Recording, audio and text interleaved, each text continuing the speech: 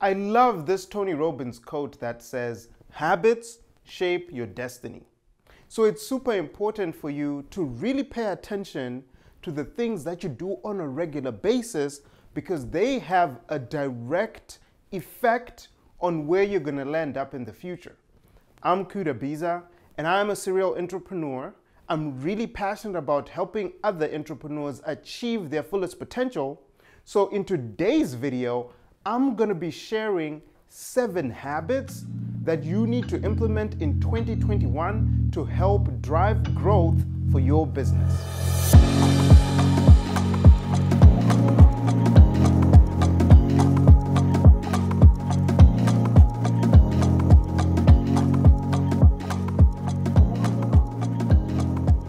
Okay, so habit number one is you want to prioritize deep work.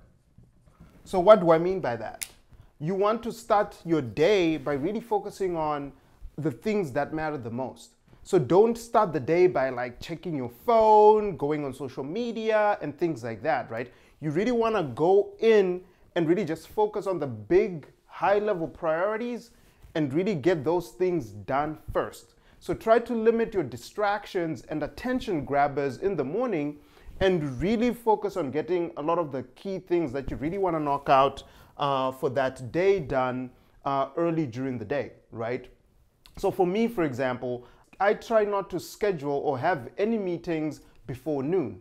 So from when I get into the office up until noon, I'm really focused on knocking out deep deep work. So really putting in a lot of attention into the work that I'm doing because that's really what drives the needle.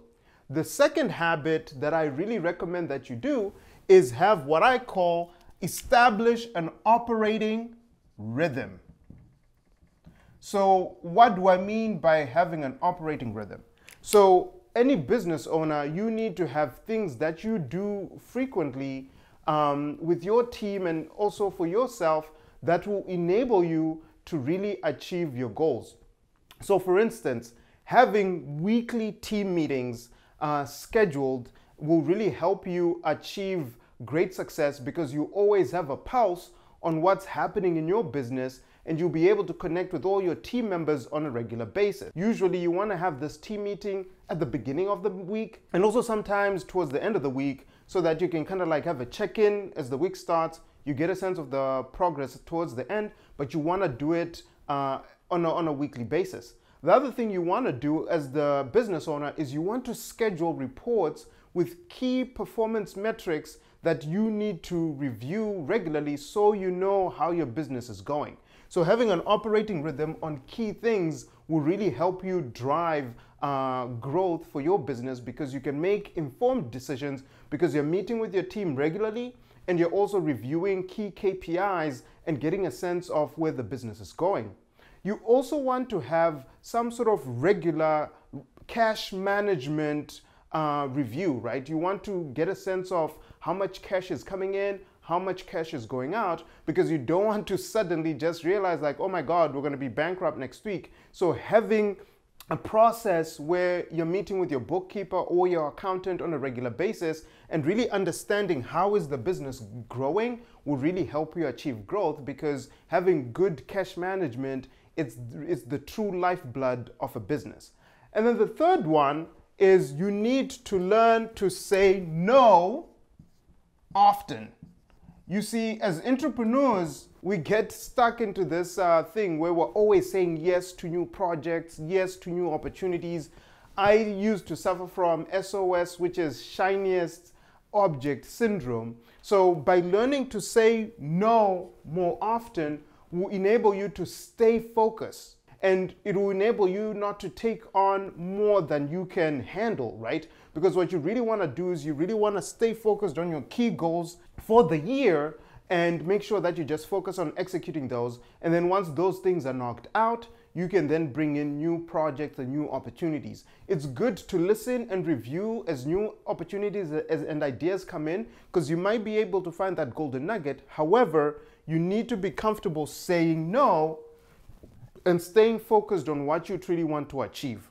Now, the fourth habit that I really recommend you uh, focus on is you want to prioritize your health and wellness.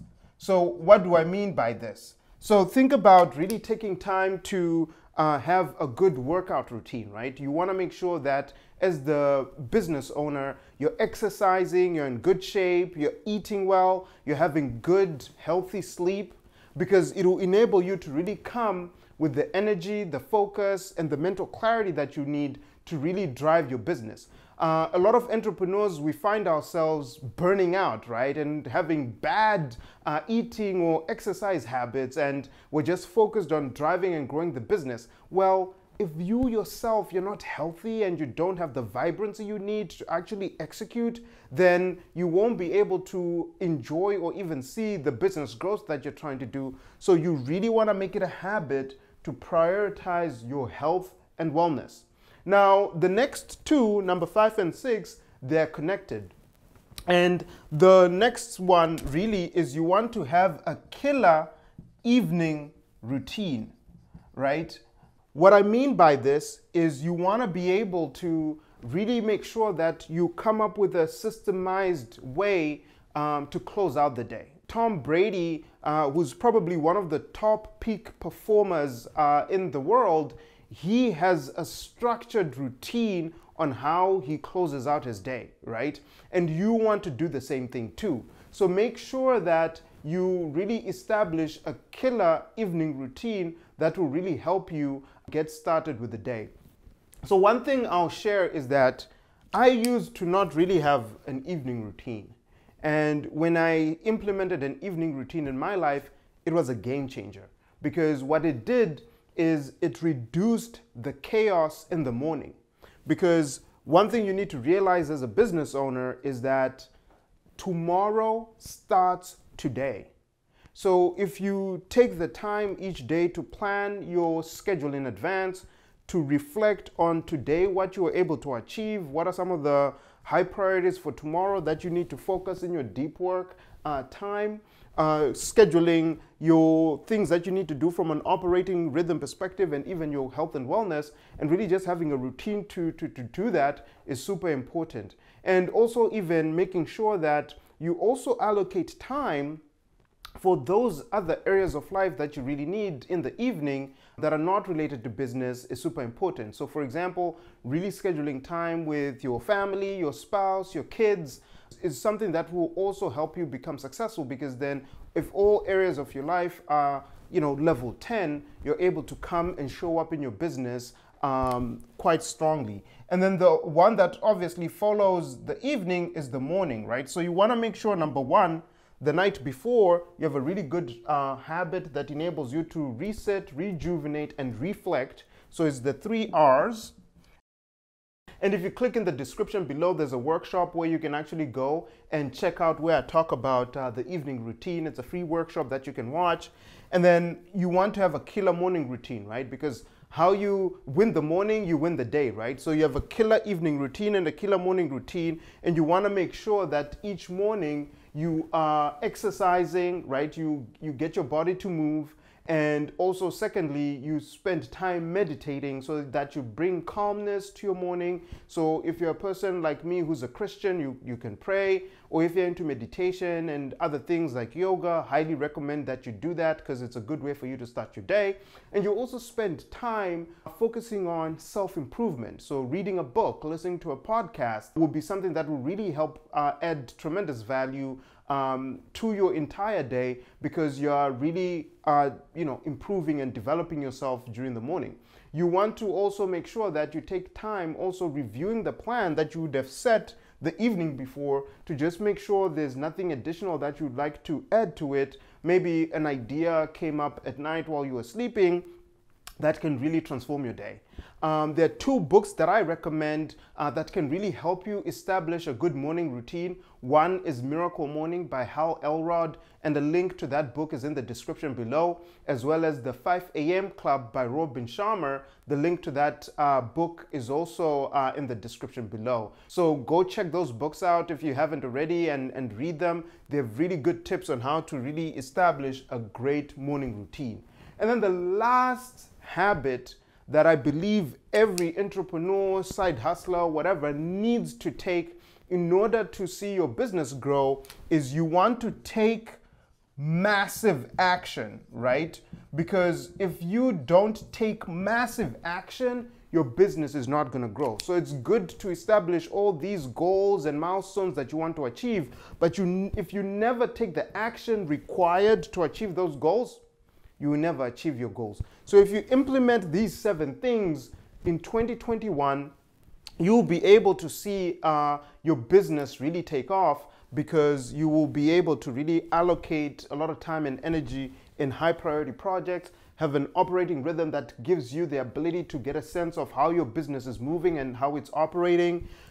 You know, make sure that you're not distracted by opportunities that just come by. You, you stay focused on what you need to do. You focus on your health and wellness so that you can come and deliver and execute with the energy and the vibrancy that you need. And also, you have a killer evening and morning routine to make sure that when you start the day, you start the day with a lot of energy, your mind is clear, you're not tired, and also when you go to bed, you, you calm yourself down, you spend time with your loved ones, and you prepare for the next day so that you have enough energy for you to take massive action. So go out there, take massive action, and um, see you on the other side, and hopefully you get your businesses to the level that you want to see them at.